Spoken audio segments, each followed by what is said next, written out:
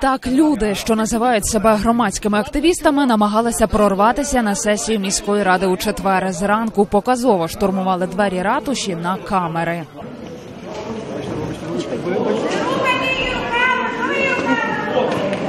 Та не чекайте. Ну, Я вас до Лесі. Хлопці,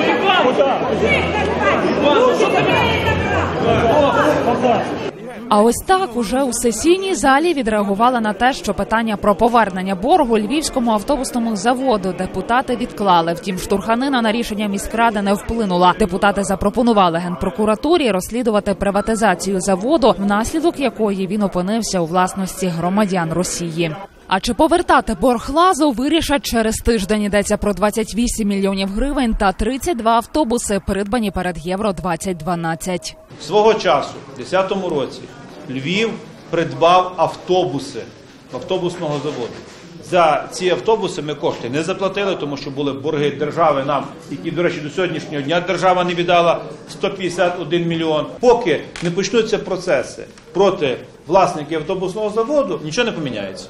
Тому що вони ходять, корумпують і ті ж самі структури, які накладають арешт на наші автобуси. Щоби стягнути борг, державний виконавець ще перед новим роком оголосив у розшук 160 автобусів, що належать АТП 1 На підприємстві розповідають, у них арештували вже 6 автобусів. Три стоять на штраф майданчику, ще три на території АТП. Ось ці машини замість возити пасажирів стоять просто неба. Водії, які на них працювали, фактично без роботи. Якщо цей процес продовжиться, то ми вийдемо на якийсь такий момент, коли ми вже нам не буде вистачати автобусів, щоб випускати на лінію.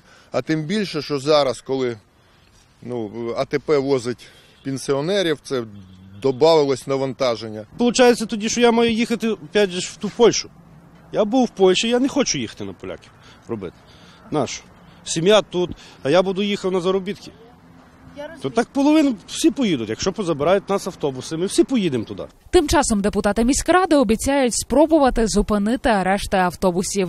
Колеги-депутати стверджували, що вони будуть мати окремі зустрічі з керівництвом поліції області, з керівництвом Міністерства юстиції, виконавчої служби для того, щоб вони не вчиняли тих дій, спрямованих на арешт е, транспортних ну, автобусів. Львівський автобусний завод ще у 2001 році викупив і довів до банкрутства російський бізнесмен Ігор Чуркін. Виробництво автобусів холдинг зупинив 4 роки тому. Зараз підприємство офіційно зареєстроване на Чуркіна та низку канадських і британських компаній. Юлія Девда, Марта Когот, Роман Миленький, Захід, Нет новини.